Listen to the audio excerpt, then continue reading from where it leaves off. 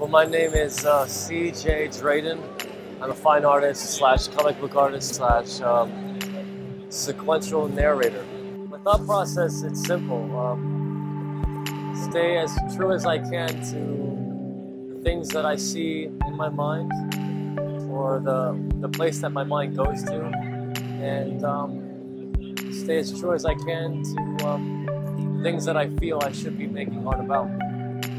Well, if you, I think we all kind of grow up with these with these characters, so I think that's a, a pretty good statement to just say we kind of grew up with it. It inspired us at some point.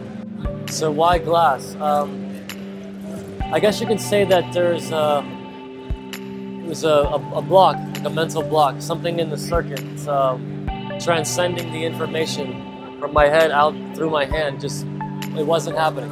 It wasn't happening when I do watercolors or oils or anything of like traditional media. So I had to really find a different way to go about trying to be as true as I can and translate this this world that I go to and in my implicate self and bridge that world into this world, this tangible place of existence, my explicate. So the unconscious viewers can see the place where I create from.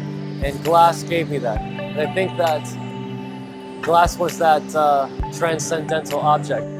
It was a, kind of a safe zone to hit when I started doing art, but um, something I'm I'm learning to get into into the industry and try to do it more often. Um, and it's also a big stepping stone. Doing comic book characters, going to comic cons. It's a big stepping stone in my development as an artist. I've done some cool, some cool pieces for some cool people, man. I had um, one of the coolest ones was Whoopi Goldberg. I did her, um, I did her character Guinan from Star Trek. That was pretty badass. I've done some stuff with Stan Lee. He endorsed my book. The Wooden Heart was that bridge. It, um, it, it's a staple of a time period of my life.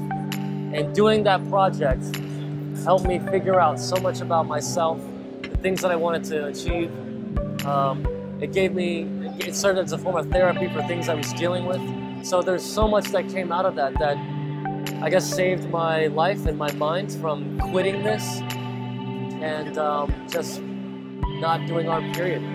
The the zombie chain link stuff, like I like I like building environments and shadow boxes and um,